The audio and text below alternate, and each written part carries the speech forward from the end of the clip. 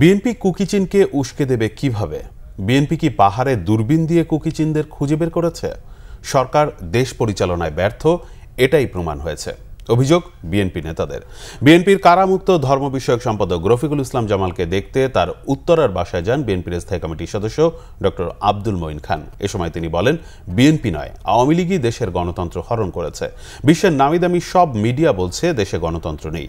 সাত জানুয়ারি নির্বাচনে মানুষ ভোট কেন্দ্রে যায়নি।